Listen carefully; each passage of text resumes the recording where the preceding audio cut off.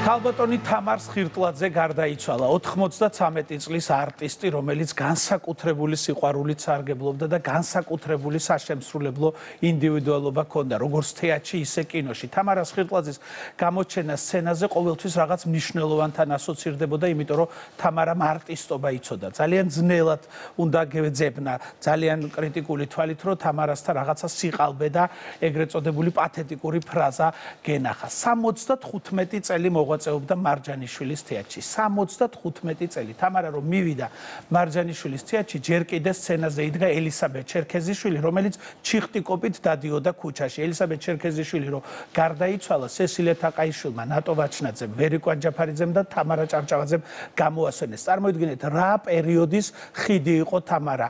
დაწყებული მე-20 საუკუნის დასაწყისიდან 21 საუკუნის დასაწყისამდე. მისთვის კოსტუმებს ელენი ახვლედიანი კერავდა მისი პარტნიორი კი ჟორა შავგულიზით დაწყებული ვერიკვენ ჯაფარიძით და ვასო გოძიაშვილი დამთავრებული ყველანი იყვნენ. თემურ ჩხეიძემ როდესაც დადგა ილია ჭავჭავაძის ნაწარმოებების მიხედვით სპექტაკლი ოთარ ანთქრივზე ორი შემადგენლობა ყავდა. ვერიკო იყო პირველი შემადგენლობა და დუბლიორი იყო თამარა სხილტლაძე. თამარა ისე თამაშობდა ოთარ ანთქრივს, რომ თემურს რო კითხავდნენ მოსვლა გვინდა შენი სპექტაკლის სანახავათო თემური ეუბნებოდა იმ დღეს მოდით როცა თამარა ითამაშებსო. თამარა რო სცენაზე გამოდიოდა რაღაცა განსაკუთრებული ძალა ქონდა ჰქონდა, მან იცოდა გააზრება, ალბათ ლილიოსელიანისგან მოდგამდა ეს თითოეული სიტყვას, ფრაზას, შორისდებულს ნიშნულობა ჰქონდა მისთვის. ტრაგიკული იყო მისი ცხოვრება ხელოვნებაში, ერთადერთი შვილი გარდაეცვალა, თუმცა როდესაც საავადმყოფოში ექიმი გამოვიდა და უთხრა, რომ თქვენი შვილი თაზოთოლო რაია გარდაიცვალაო, თამარამ იმ წუთში დაიწყო სარკის ზებნა.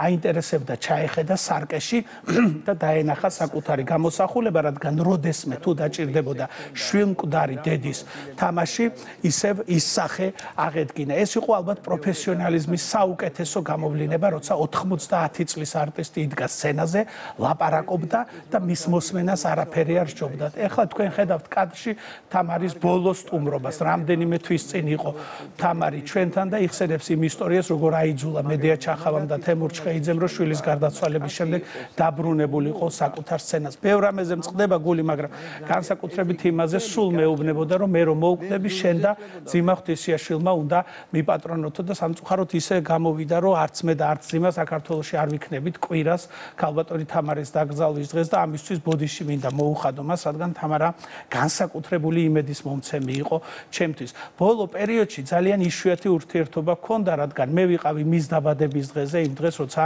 ჩემს ოჯახში ტრაგედია დატრიალდა და თამარა რაღაცა უხერხულობის გზნობას განიცდიდა ჩემთან ურთიერთობაში. თითქოს არ ვიცი თავს იდანაშაულებდა თუმცა აი ვერ ხვდები რაღაცა ბარიერი გაჩნდა ჩვენ შორის და იმის შემდეგ ძალიან იშვიათად აი ამ ეთერში რომელიც ახლა კადრში იყო მაშინ შევხვდით და ერთი ორჯერ ღა ქონდა სატელეფონო კავშირი.